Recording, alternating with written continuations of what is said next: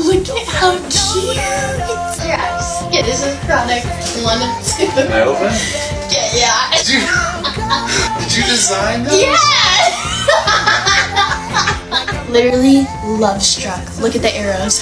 There were so many other like templates to choose from on Make Me Surprise, but I chose these ones just because they're like the couple ones. But with Valentine's Day coming up, I think this is a pretty funny gift.